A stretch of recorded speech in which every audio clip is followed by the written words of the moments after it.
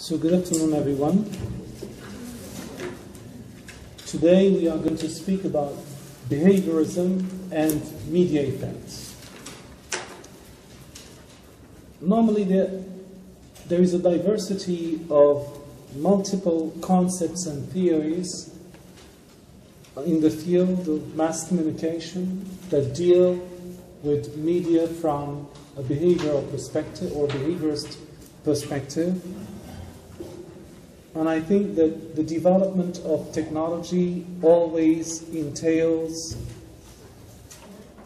a change in perspective because the development of boundaries between media generates new perspectives, new methods, and outdated ideas are no longer relevant, especially if digital, that is, um, digital methods or the digital world gets into that is um, gets into the um, into the scene, then we need always new theories or new methods to to to look at it. One advantage of technological progress is that material innovation in the field of medium may pave the way for new exciting areas of theoretical and cultural innovation. So the first example we are going to deal with today is Lasswell's theory, or called Lasswell's construct. The year 2015 marks the 75th anniversary of the first known reference to Harold D. Lasswell's model, model of communication, launched in 1940. And let's remember that, as I said to you, any method or any perspective that remain to be relevant in the world of media theory, it means that it should accommodate the technological change, otherwise it risks fading away into obscurity like many other concepts that followed it.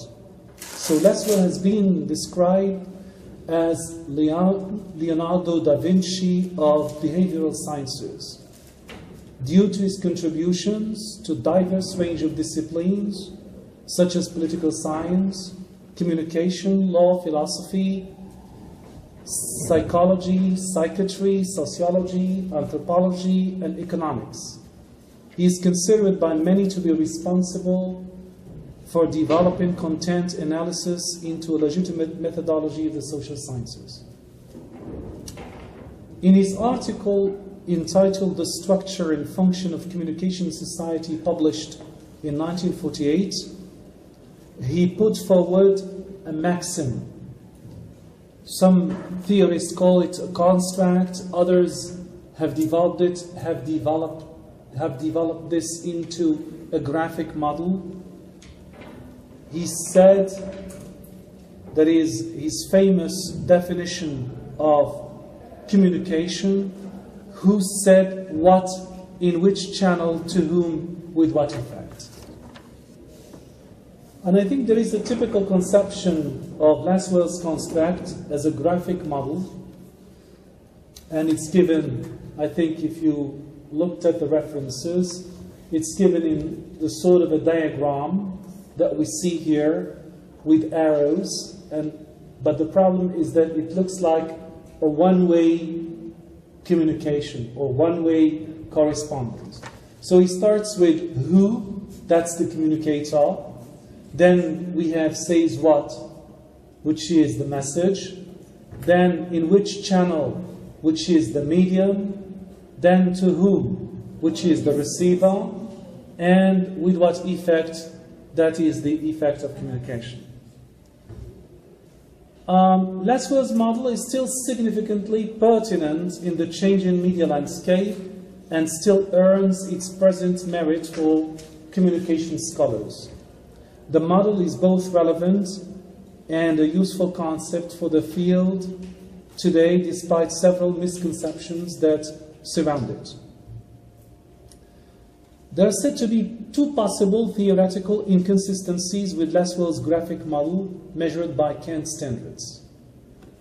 What are these two inconsistencies? The first potential problem is the predictive nature of the arrows. The arrows all pointing from left to right suggest linear communication prior to any channels of communication being identified. What does this mean? It means that if we are in the context of the internet, it's not linear communication, it is rather mutual or reciprocal. There is feedback from there is the audience. So here it means that the graphic model given by Lasswell is not pertinent to a digital world. The question here is it Lasswell's construct in general, or is it the graphic model that we see in front of us? Um, Sapienza, in his article on Lasswell that I gave you, if you, I don't know whether you you did look at it, he says that this is, it's not sure whether Lasswell created this graphic model, though many scholars attributed this to him. So the question, who did design that model that we see by Lasswell. The categories are there, they are put by Lasswell, but the graphic model, it's not, it's not attributed to, the, to Lasswell. According to Zacharias Sapienza and et al. and other critics, it is McQuail and Windahl in their book Communication Models published in 1981. They offered a two-page section on the Lasswell formula that provides several visual diagrams, including what might be termed the first public graphic version of Lasswell's construct. So it means that the construct doesn't produce, there is nothing in the construct, in his construct, that shows that there is linear communication or the communication is closed or limited. One, and one can expand on any question in the categories given by Lasswell. Lasswell himself, that is, didn't, uh, that is, uh, Lasswell himself on multiple occasions tried to modify, contextualize, and build up on his questions. For instance, in 1968, he contextualized the construct for political communication. Who, he said, who, with what intentions, in what situations, with what assets or capital, using what strategies, reaches what audience, and with what result. So it means that this who there, uh, we can elaborate on it. It's not just who the producer without, that is, without contextualizing that producer. Uh, are, it means that this model given by Lasswell is flexible. So we can ask, we can elaborate on it, we can amplify it, we can ask new questions. Other questions asked by other critics what value outcomes are sought? To what extent has the direction of change been toward or away from preferred goals? Richard Braddock asks another question under what circumstances? to draw conscious attention to the attributes of time and setting and how they influence the communication process. He also proposed the category for what purposes to emphasize the meta aspects of communication. Also, we have Forsdale, another critic. He asks another question In what situation? Herbert Hyman, another question. With what immediate response Goldsman and Tapa, another question, in what language, and so on and so forth, through which code, and we can ask also question on, on feedback. That maybe it doesn't exist in that chain. Because remember, the chain says to us, huh, who says what in which channel, to whom, with what effect. But it's ne- it never speaks about feedback or the response of the audience. We can always say with what feedback, not only on, under what circumstances, but also with what feedback. To challenge the linear sequence of communication conveyed by the graphic model traced by that is uh, by the McQuail and there is et al. So this is, if you want, uh, there is um, a short um, introduction to Lasswell's communication model, telling us that there is, uh, it is still pertinent to the digital world, and um, though, of course, we can challenge it with new questions, we can amplify it, we can expand on it with new questions regarding context, regarding feedback, regarding the type of, of language used, regarding the intentions, regarding um, that is the assets and different other questions, but still it is viable and we can work with it even if it, it is one of the earliest media theories that deal, you know, with uh, uh, media from a behaviorist perspective. Then now we move to another prominent figure in the behaviorist model um, expounding media. It is Gerbner and the cultivation theory that was developed in the late 1960s. And uh, here I just read again. Um, in many areas of communication theory and research, cultivation theory has enjoyed considerable popularity over the past decades. In a series of articles and reports published in the Communication, and uh, that is uh, in reports issued by the Annenberg School of Communications, Gerbner, Gross, and other critics claim, and this is normally the definition of cultiva cultivation theory, they claim that heavy television watching cultivates conceptions of reality in viewers which are consistent with the world presented in television dramas. So, what does this quote mean here? It means that the world projected on screens influences or cultivates the mind of television or heavy television viewers. It's not any television viewer, but it is heavy television viewers, those who keep watching there is television frequently. And uh, we can give different examples, but I want you just to stop at an example and think about perhaps for a homework assignment, which is Moroccan television soap operas. Okay? Moroccan television soap operas, especially Turkish. And then I would ask the question about the relationship between Turkish, that is, soap operas on Moroccan television, and love styles. What kind of love style do they cultivate in Moroccan audience?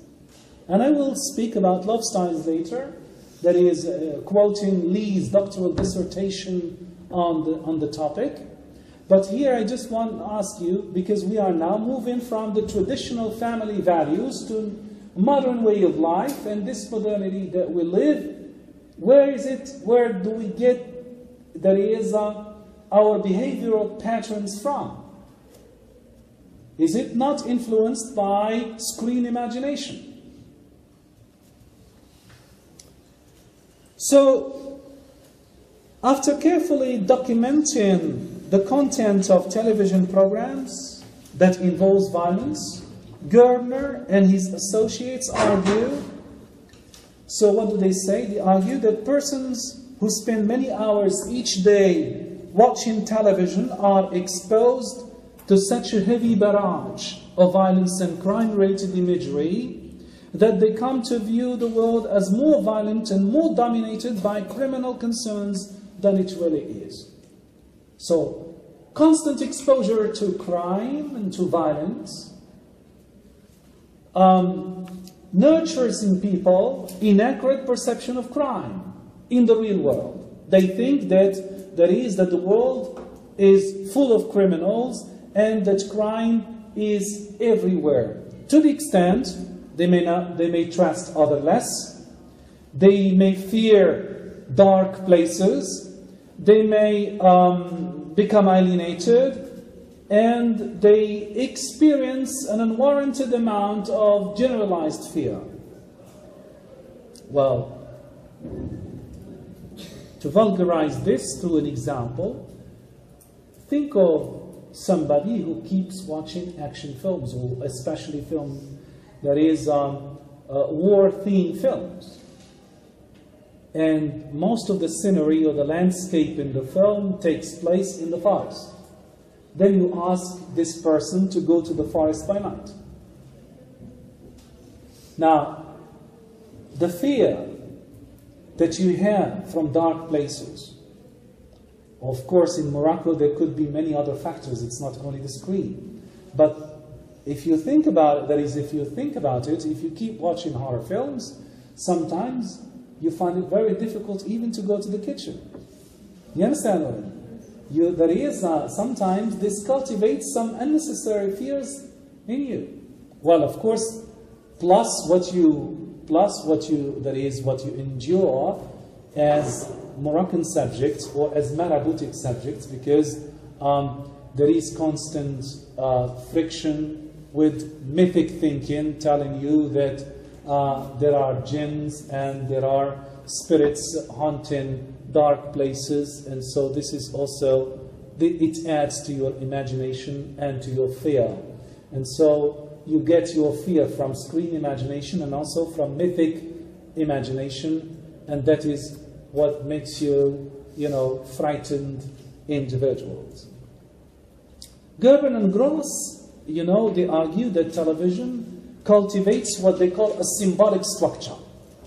A symbolic structure compared to Schramm's social cognition model, which viewers use to interpret everyday's reality. So it means that there is a symbolic structure, a kind of frame, a symbolic frame, huh, that this uh, um, that, that television cultivates in us, and this is the frame or the structure that we use to interpret, you know, that is uh, our everyday reality.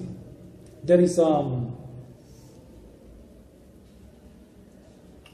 um, a convivial, it's, it's a convivial incident that happened uh, to me uh, last summer. Um, um, and I think that, that, that that is an example of how television, you know, cultivates this structure in us.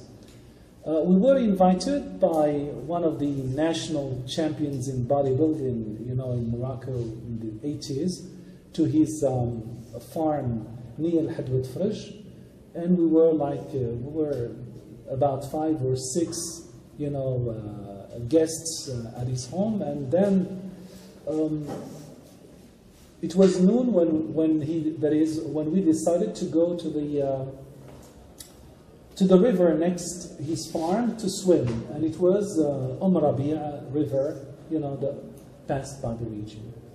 Of course, when we swam because of the uh, wild, you know, landscape, I asked a question, a question that created laughter. Are there any crocodiles in the river? Well, where does this question come from? It comes from the films, you know, that you watch. It's normal. Of course, when we were at lunch, everybody started laughing on the question. But to my astonishment, uh, some peasants were there that is, that is lunching with us. They said there were no crocodiles, but there were big serpents in the river. We didn't know that. So everybody was shocked because we were swimming and taking it easy. We didn't know that serpents really uh, could be at any time that is attacking some, uh, some there. Of course, uh, there are serpents who may attack and there are serpents who do not. So that shows exactly, as I say to you, that of course, um, uh, screen imagination or that is uh, media creates also its own representations that we adopt and we use in order to interpret the outside world. He gives another example, Gerbner. He says, take the example of severe punishment of crime. That's, that's an example that we see not only in the West, it may also happen in, in the East, or that is in the Arab social context, or also in Morocco. If the criminal should be beaten to death or tortured by the hero in the film occasion, then it risks to be normalized culturally in society as a standard way of fighting crimes. You understand this example? That is, if, if you watch films and then the, the, there is the, the, the, uh, the criminal in the film or the evildoer has to be punished, severely punished, either beaten to death or, or killed or whatever, perhaps this could be normalized as a form of punishment in society. People would take it as normal. And that is the danger, as I say to you, there is uh, um, of how films or there is cinema or media in general may cultivate some kind of attitudes or beliefs in us. Cultivation analysis. How is it conducted? very easy because this is not the issue today. The issue is just to introduce to you, you know, the theory, what it is about, and also how it works that is in, the in a media context. Uh, it is concerned with relatively long-term effects uh, on cognitive structure through which individuals perceive and interpret experience, not just the creation of some transient opinion, feeling, or attitude, and it is conducted through various methods from experimental designs to surveys. Okay?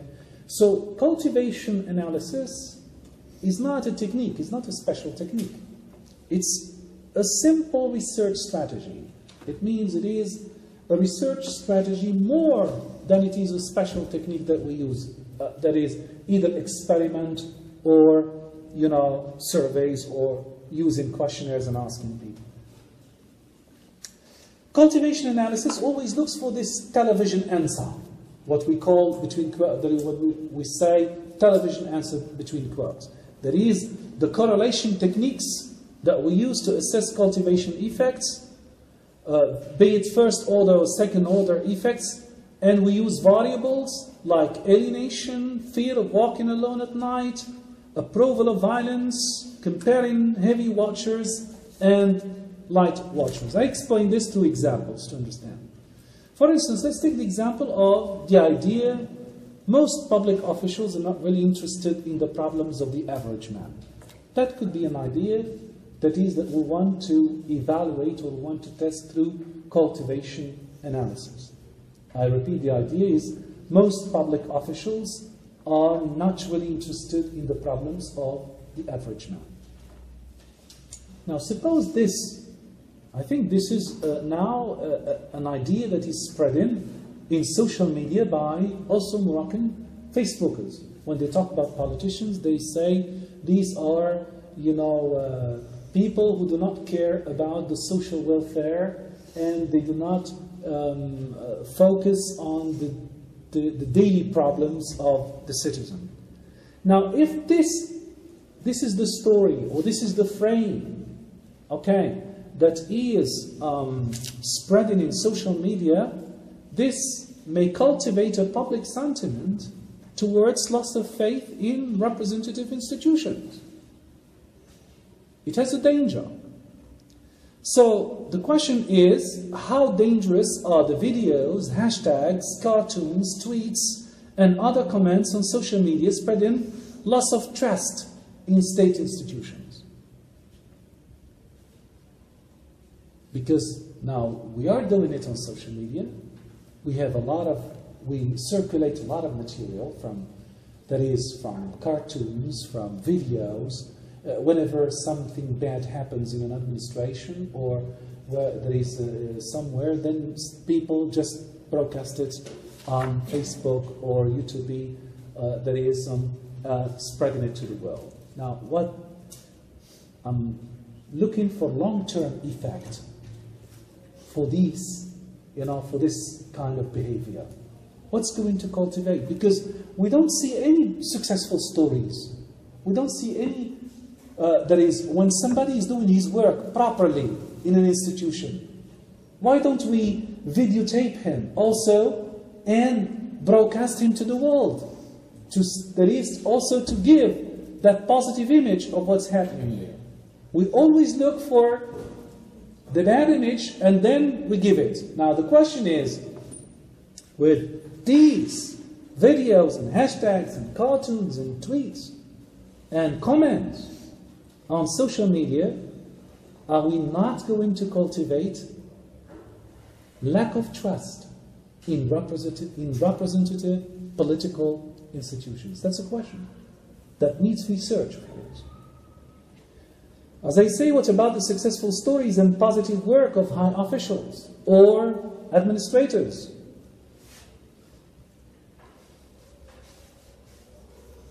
Another example, as I say to you, and I come back to this uh, romantic soap operas, especially the, the, there is the, the Turkish example, and how they cultivate a type or a style of love, you know, in uh, potentially or possibly they may cultivate a style of love in their audience.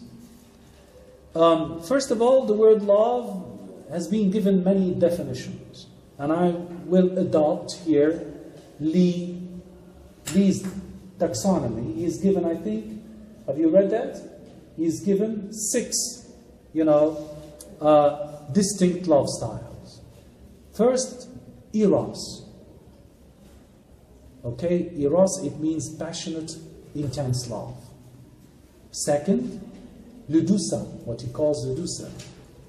That's love as a game to be played, not necessarily with any serious intention. Somebody who's not serious, he keeps changing partners. Okay, he takes love as a game. There is that's, that that style of love is called ludus.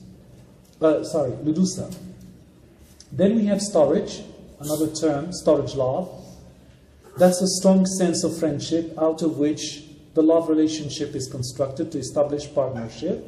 It means that you start with friendship, and that friendship develops strong relation till it ends up with you know a love relationship. That's called storge love. Okay. Then we have pragma love. I think the word even pragma is uh, you understand it. It means pragmatic love, uh, practical love.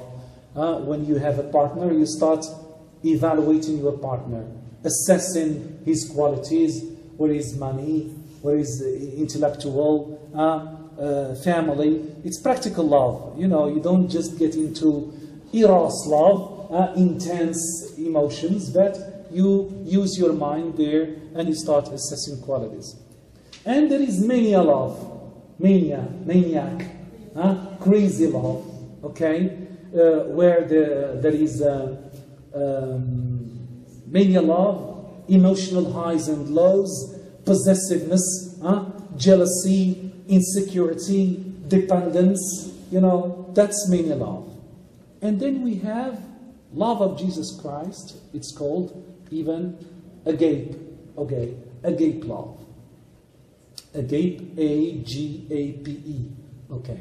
Agape love, that's self sacrifice, altruism. It means that you take the partner's welfare as more important than what you may get out of the relationship. It's a little bit ideal, love, but still, it exists. There are so many people who are altruistic, self sacrificial. Now, the question is um, what kind of love styles can we identify in the Turkish soap operas? Love? Eros. Yes, I think, uh, well, it could be, yes, it's very difficult to find one one distinct style. Sometimes, always you find this, you know, this uh, mixture. But it's a question that that also needs research, as I say to you. It needs research.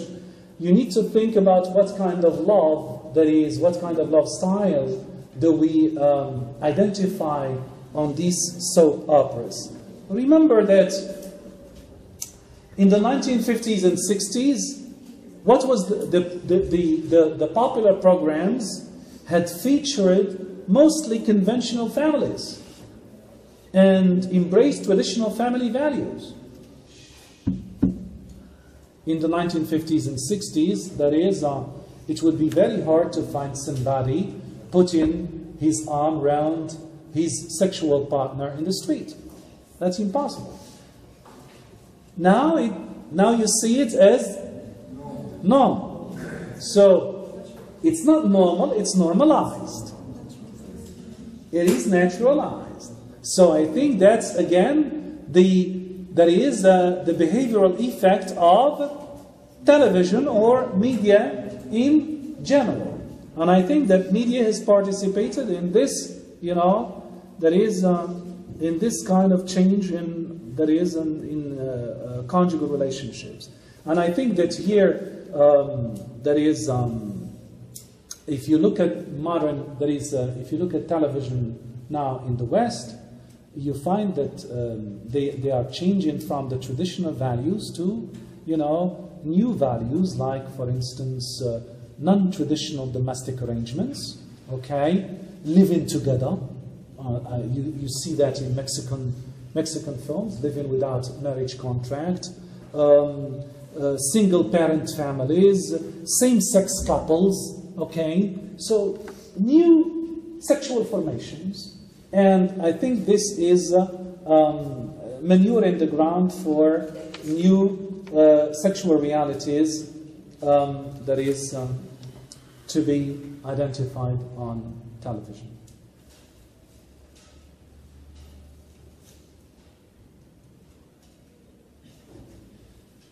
So,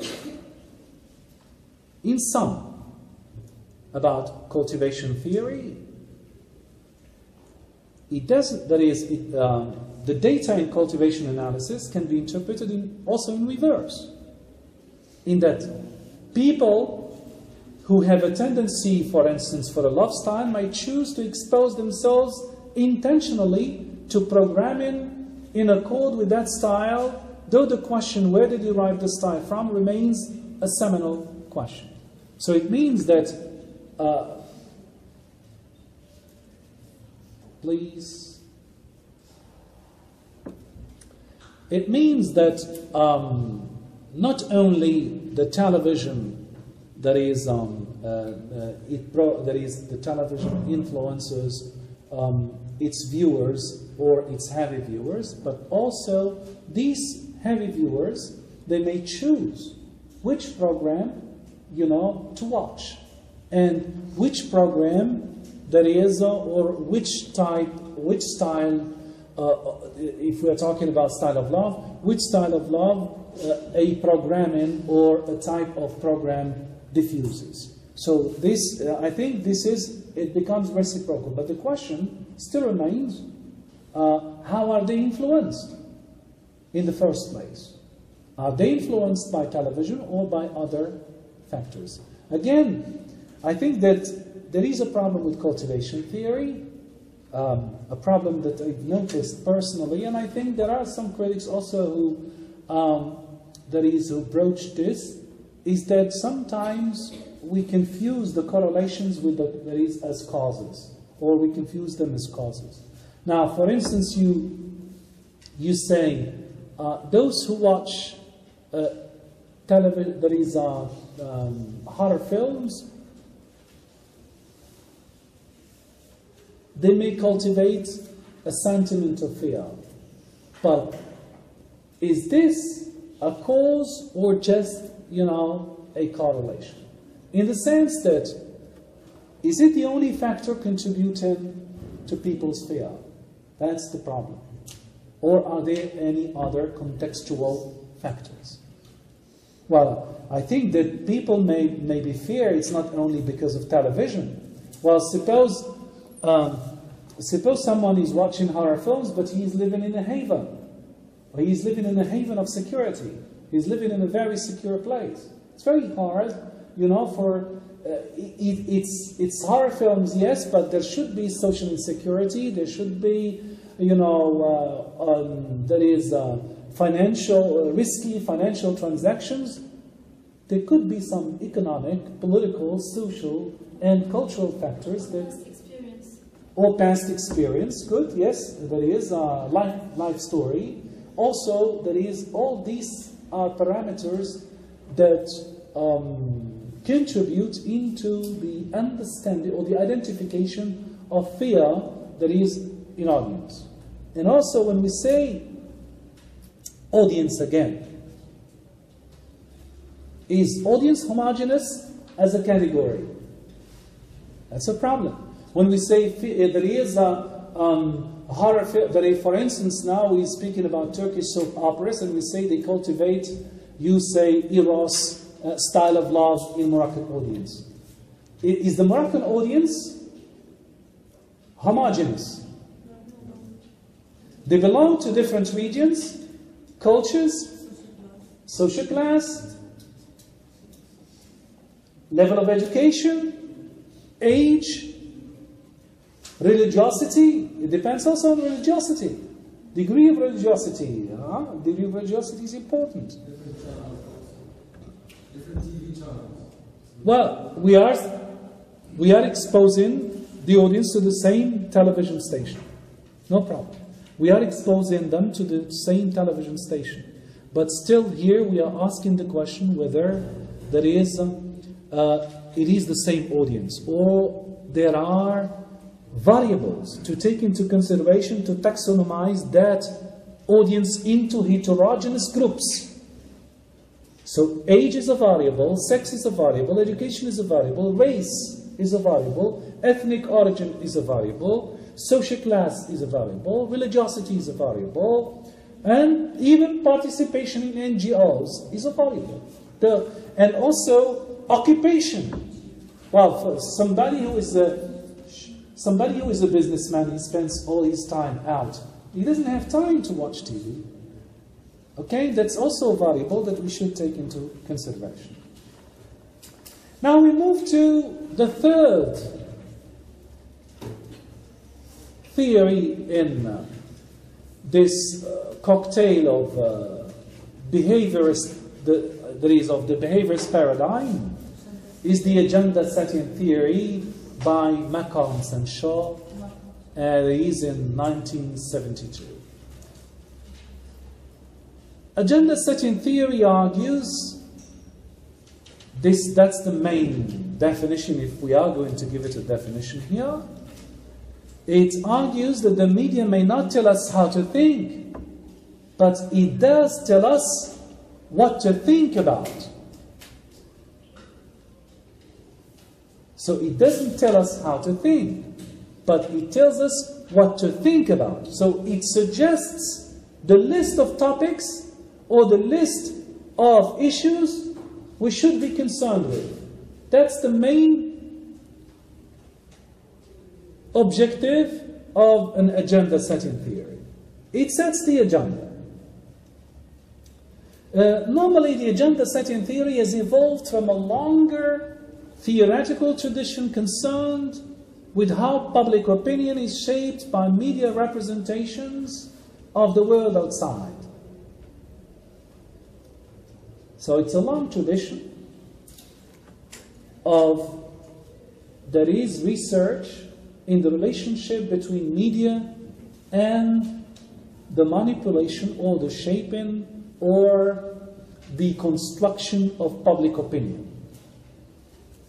And I think that journalists play an essential role in that is setting the agenda of the media.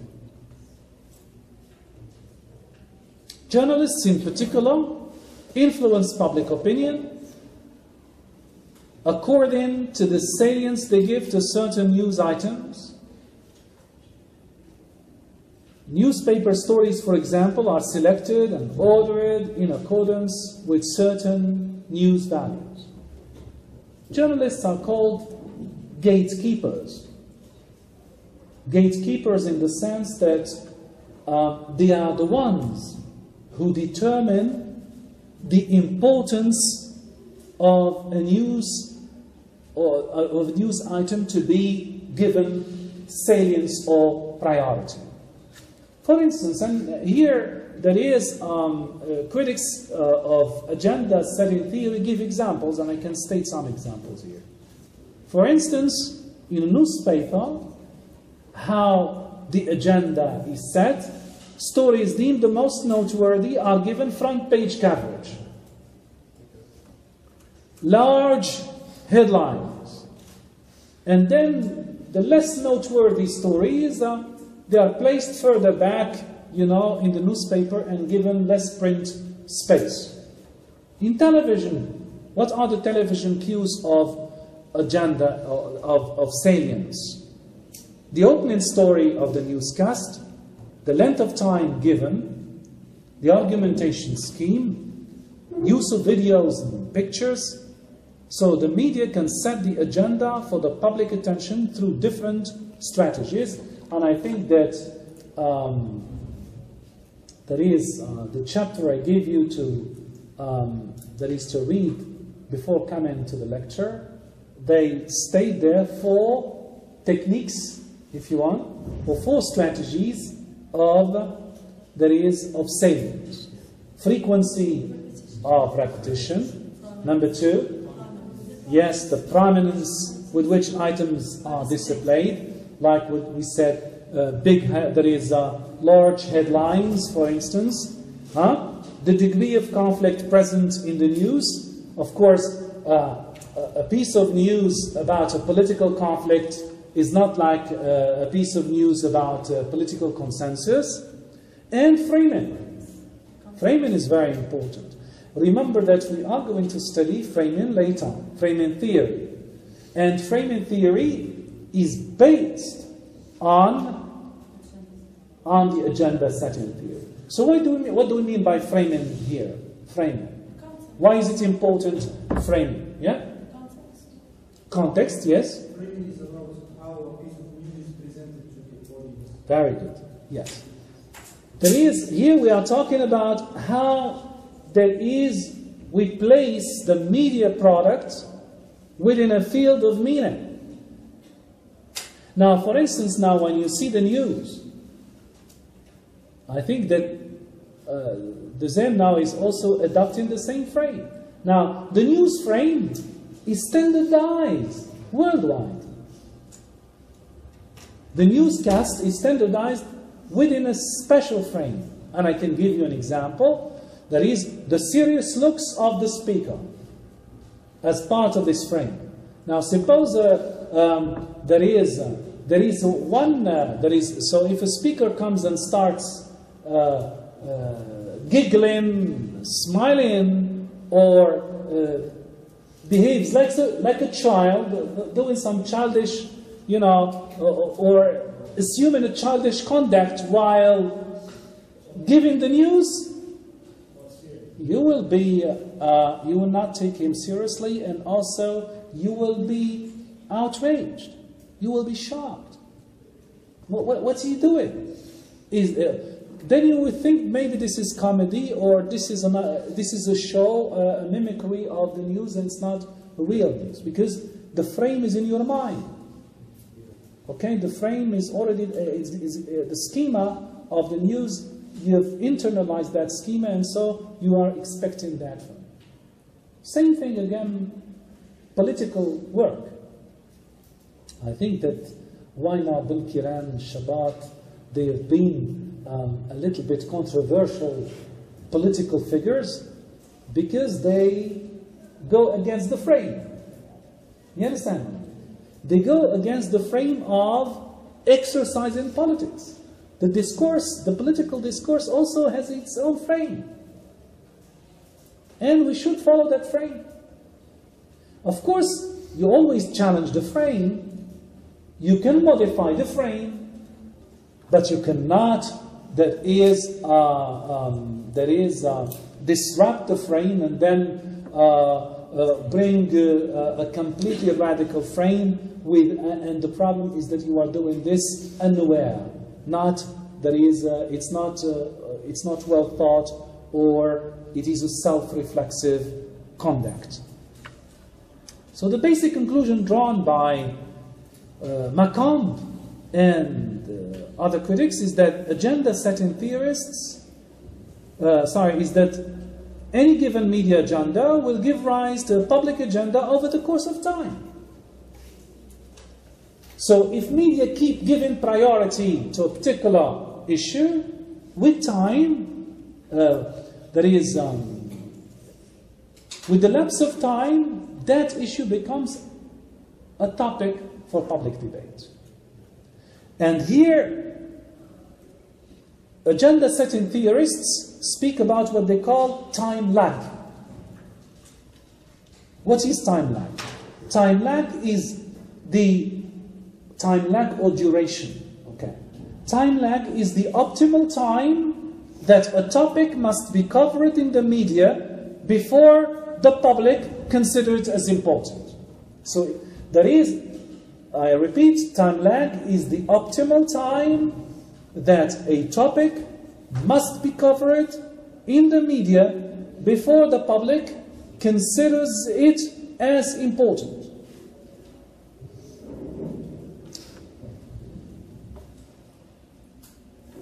How long should a topic be covered by the media in order to reach public attention and become the daily affair disputed or that is debated by people. Timeline is assumed to range from one to eight weeks, with an average of three weeks, as of the eighth week will all the way up to the 27th week, the issue loses its salience until it completely disappears. So we have uh, a time lapse that ranges between, that is from one to eight weeks in order to be salient and that is to be predominant on the public scene. Before, that is, it starts disappearing. But I think that time lag of agenda setting depends on many factors.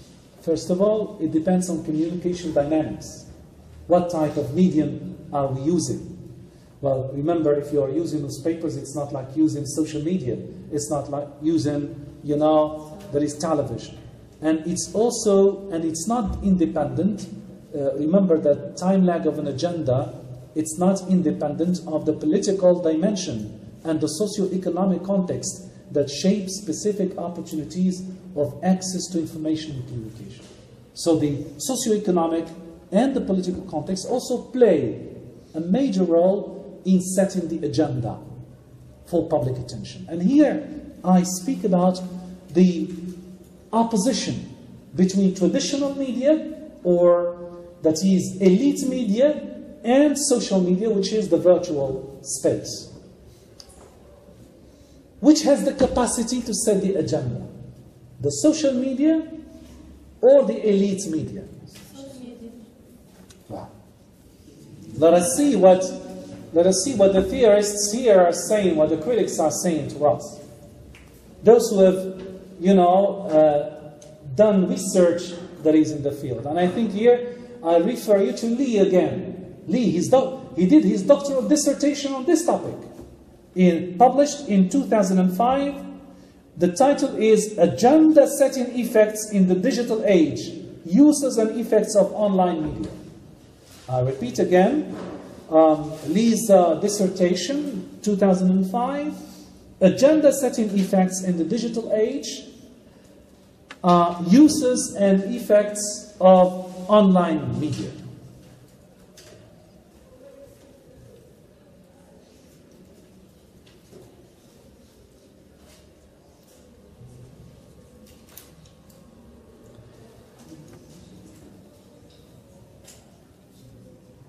There is, um, according to agenda setting critics or theorists, they say even if blogs and social networks they have gained ground in the circulation of information, it's not clear yet.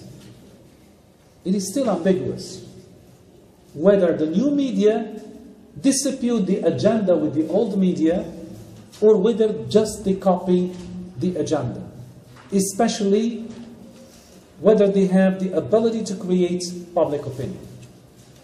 So it's not, it's not yet proved whether social media can really contribute into creating a public opinion. Of course, there are examples, especially when we are talking about the Moroccan scene. There are examples. I have here, you know, one of the master students working on social media and the public sphere, and whether social media can mobilize the public sphere, you know, that is in Morocco. But still, there are very few incidents that occurred and, you know, that that have created this response. Like, for instance, the, uh, the death uh, of Muhsin Fikri in Al Hoceima and how social media reacted first, and then elite media or traditional media that is uh, also reacted, and it was, you know, set on public agenda. But we cannot deny the traditional role of elite media. These journalists, the gatekeepers, because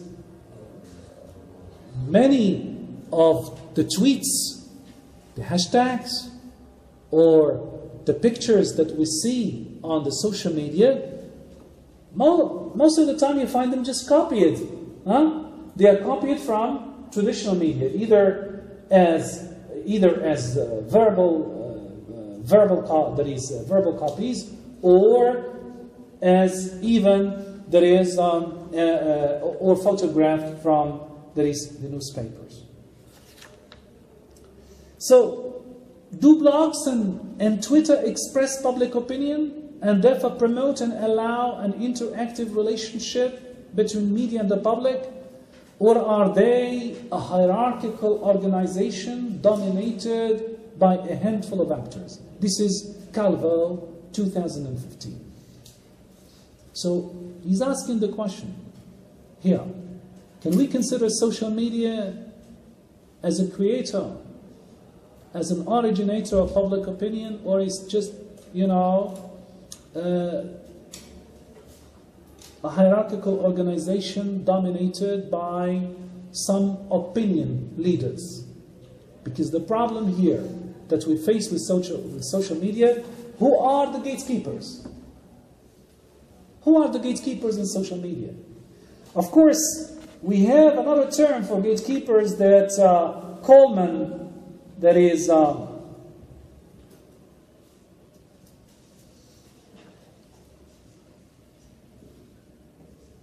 sorry, it's Bruns, 2008. Bruns speaks about gate watching rather than gatekeeping, and here he includes the cyber urban producer or the, the cyber urban citizen. It means there is uh, the citizen also contributing into editing, filtering, and commenting that particular you know, information circulating on social media. But still,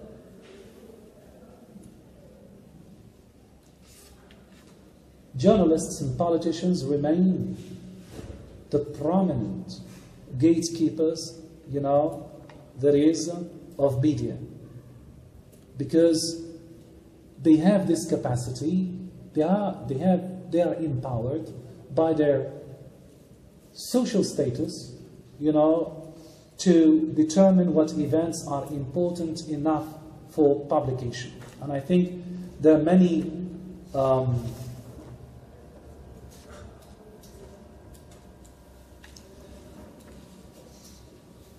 research analyses done by some agenda theorists that prove that journalists and politicians still keep this prerogative of manipulating, you know, the public agenda. And here I quote Parmelee, 2014.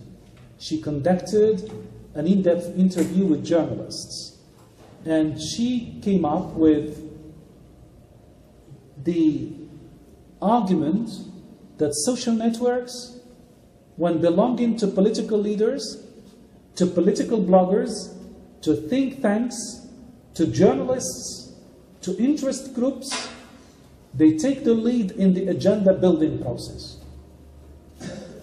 You understand that? So here, it means that the general audience or the general public, they don't follow any opinion leader, but they follow certain category of people. We have journalists, we have political leaders, we have political bloggers, think tanks, interest groups. These have the capacity to set the agenda or to build the agenda, you know, on social media. They are generators of story ideas. They provide tips.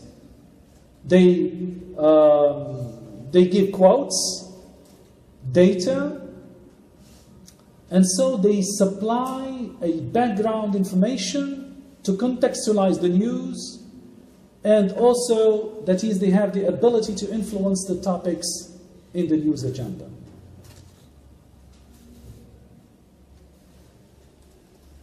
In sum, the unlimited number of sources of information with the unlimited number of sources of information, it's impossible to control all the gates through which information must pass.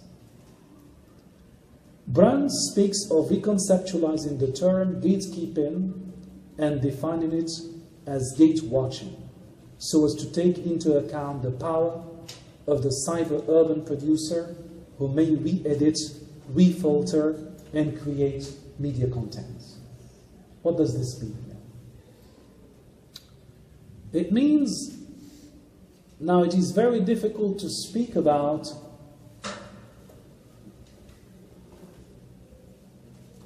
the state's ability to control the circulation of information or to speak about a particular camp having the prerogative of setting the agenda because now we have many interveners in setting that is the public agenda.